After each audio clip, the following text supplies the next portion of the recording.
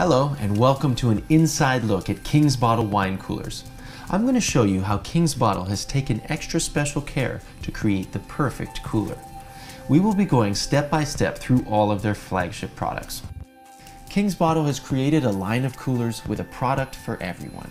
Their diverse product line offers a solution for every level of wine enthusiast. KingsBottle knows that wine collecting is an investment. That is why each cooler is crafted from premium materials allowing each unit to hold even the biggest of collections. The key to KingsBottle products is their use of wood in the cabinetry instead of steel like some other coolers. This allows for a more consistent temperature absorption and uniform cooling experience that doesn't bruise the flavor of your collection. Metal becomes much colder than the air around each bottle, when a bottle sits for a lengthy period of time in a refrigerator, cold spots develop on the bottle where the glass meets the metal, and the wine closest to the cold spots can be tainted. Wood, however, is not affected by cooler temperatures in such a way. The wood shelves in all of KingsBottle's coolers are placed lovingly on top of solid steel ball bearings that produce a silky smooth entrance and exit for your bottles with a solid construction and reassurance that your cabinets will remain in the cooler. Many coolers out there use both incandescent and fluorescent lighting in their coolers.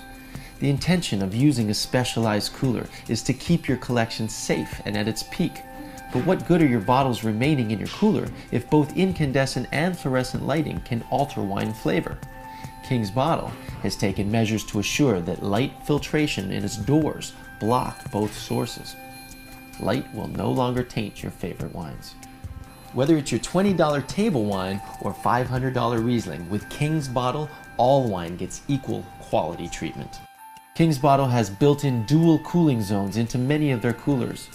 Dual cooling zones keep a variety of wines at their best. This way, your reds can stay at their optimum 50 to 55 degrees Fahrenheit and whites at their lower range at 45 degrees Fahrenheit.